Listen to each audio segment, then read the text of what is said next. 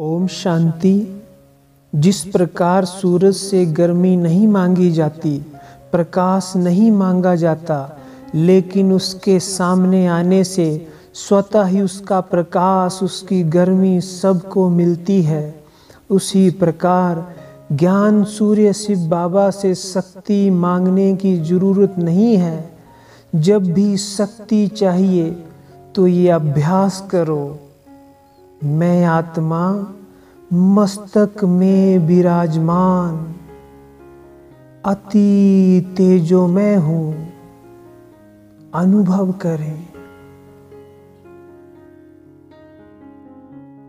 मेरा रूहानी प्रकाश चारों ओर फैल रहा है।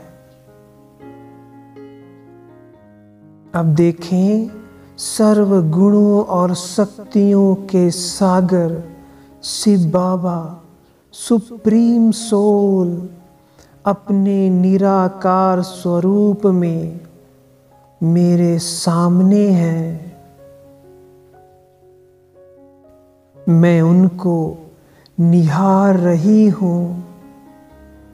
ज्ञान सूर्य की रंग बिरंगी किरणें मुझ पर पड़ रही हैं, निरंतर बरस रही हैं।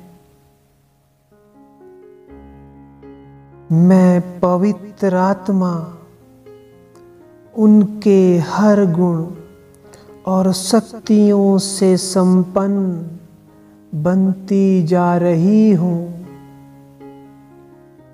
कितना सुंदर अनुभव है। ज्ञान सूर्य की किरणों के नीचे।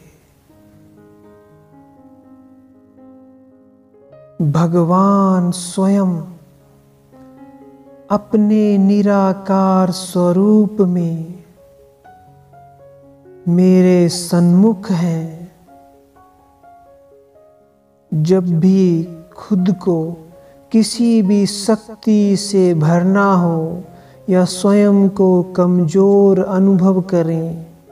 ऐसे ही ज्ञान सूर्य शिव बाबा को अपने सामने देखें।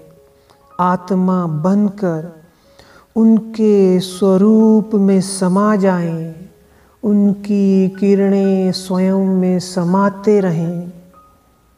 तो जो भी शक्ति चाहिए आत्मा के अंदर भरने लगेगी।